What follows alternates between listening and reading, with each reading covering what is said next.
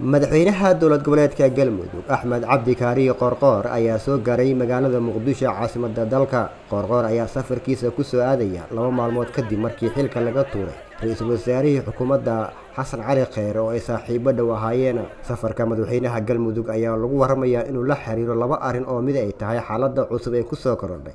Siyaasadda dalka soomaaliya sidii uu madaxweyne farmaajo ugala hadli lahaa isbeddelka ku dhacay inta uusan saameyn ku yeelan. Shirka loo balansan yahay shan iyo tobanka agost inuu dhex maro madaxda ka socota dowladda federaalk soomaaliya kuwa maamul goboleedyada. Intaasi kadib ayaa sida wararku ay sheegayaan la filayaa in madaxweyne qoorqoor uu arrimo caafimaad u aado dalkaasi turkiga markii uu soo gaaray magaalada muqdisho caasimada soomaaliya madaxweynaha maamulka galmudug waxaa garoonka diiradaha ee aadan cadde ku soo dhaweeyey xildhibaanada labada gole mas'uuliyiin ka tirsan dowladda federaalk soomaaliya maamulka galmudug siyaasiyiin iyo qeybaha kala duwan ee bulshada soomaaliyeed.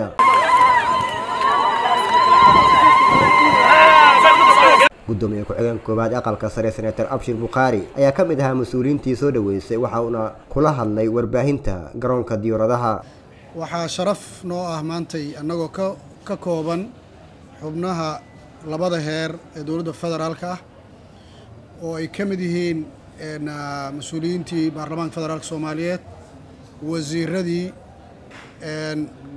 wasiiradii labada heer maamulkii gobolka banaadir dhammaan warbaahinta iyo dhaqanka iyo dadka dowladda dowlad goboleedyada kale ka socda culamaa udiinka bahda warbaahinta. Dhammaantood intaba anoo magacooda ku hadlaya waxaan sharaf noo inaan soo dhoweyno madaxweynaha dowlad goboleedka galmudug mudane axmed cabdi kaariye axmed qoorqoor oo runtii muddo dheer aan sugaynay inuu halkan mar noogu yimaado. Shaqadii iyo howlihii uu ka soo waday galmudug qayb ka midana maanta halkan nagu soo gaaray waxaan rabaa ujeedka aniga hadalkaan u qaato wuxuu ahaa soo dhoweyn. Waxaan halkan ku soo dhoweynayaa madaxweynaha. Annagoo halkan u wada joognaa u soo wada gudbinayna salaan soo dhoweyn.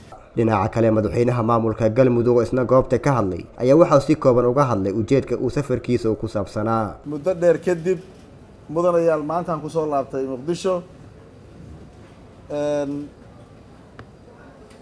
idinkoo og howlaha iyo shaqooyinka aan ku maqnayn muddada dheer oo ka jirtay ama aan ka wadnay galmudug iyo guud ahaan soomaaliya. Sharaf bay noo tahay inaan maanta idiin nimaadno annagoo nabada isu soo laabanno. Safarkan halkaan aan ku imidno waa safar shaqo oo ka mid ah shaqooyinkii iyo howlihii aan wadnay. Qayb ka mida waan iswaraysanaynaa talooyin badan oo loo baahan yahay ayaan ka tashan doonaa wakti baan isla qaadanaynaa. Shaqada aan u nimid baad qaybta ugu weyn ka tihiin. Mar labaad iyo mar saddexaad waa idiin mahad celinayaa. Maanta war kaloon sii gudbiyo la sugumaye gadaalu jiraa warku haddii laa yidhaahdo aad iyo aad aad mahadsan tihiin. Soo dhoweyn sharaf leh. Isu imaad wanaagsan. Wada tashi habboon